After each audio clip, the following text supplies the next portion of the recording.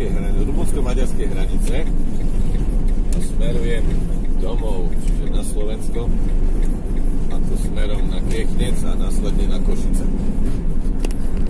Ktokoľvek z vás by sa rozhodol ísť po tejto ceste a povedal si, že po diálnici okolo Budapešti je to predsa len o 60-70 km dlhšia cesta a že to strihne po tej kratšej, no myslím, že vidíte aj z toho, ako sa obraz trasie, že to nie je najlepší nápad.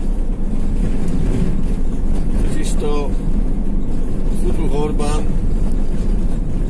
a jeho ekipa je asi taká istá banda, jak aj celý smer s Ficom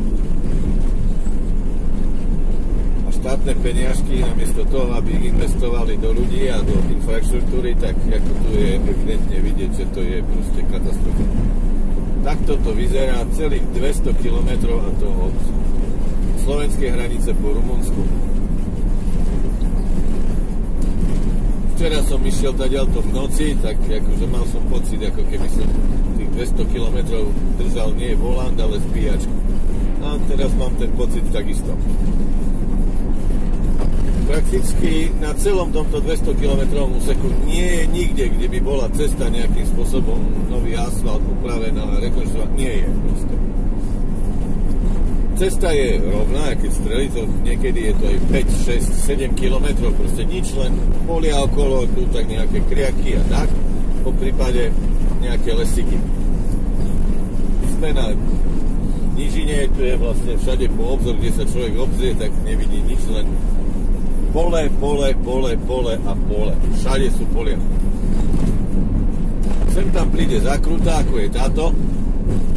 Také tie ostrejšie sú označené, aby ste spomalili a nevykrutili si krk pri tom, že ak vyletíte z cesty. A potom zase začína rovina.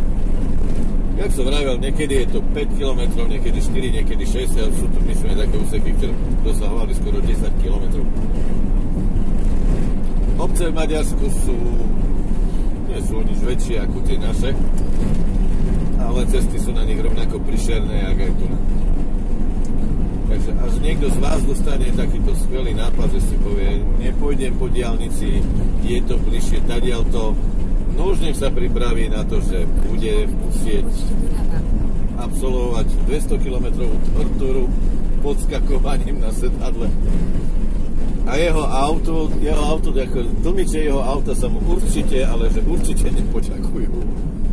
Pretože toto je naozaj strašný zahul. No, takže sme teraz v nejakej ďalšej dedinke.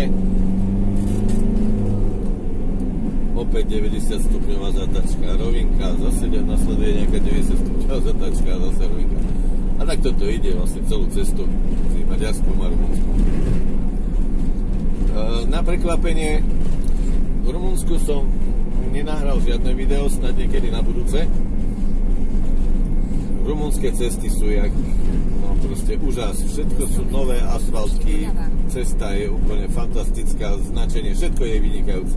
Na rozdiel od Maďarov, kde je to, to je strašné stav. Snad niekedy v najbližšej dobe, keď budem zase cez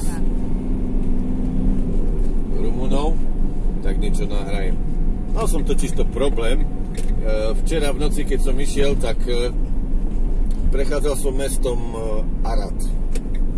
Mesto Arad je úžasné, úžasné, nádherne bolo nasvietené vianočné ozdoby a, a celé sa to trblietalo, svietilo a potom fantastická architektúra, akože naozaj to bola pastva pre oči a ja som sa hotoval, že keď dneska sa budem vrácať domov, lebo mám čas, nechám sa neponáhľam, že sa v tom meste zastavím urobím nejaké pekné video z e, mesta, pretože naozaj je tam, je tam čo ukazovať. No, lenže ráno, keď som vyliezol z Pelechu v kabine a chcel som si odskočiť na malu, robil som tu najväčšiu kravinu, ako som len mohol. Otvoril som dvere na opačnej strane kabiny, vyskočil som do tmy a pristal som asi v 20, metr, 20 cm hlbokej mláke a plate. Takže momentálne vyzerám jak hastroš, smrdím, a určite by som ako turista nevyzeral najvábnejšie v uliciach mesta, takže som sa na to vybodol a pôjdem sa na to pozrieť niekedy inokedy. Určite, keď tady to pôjdem, budem sa snažiť zastaviť a urobiť normálne nejaké pekné video. Naozaj to stojí za to.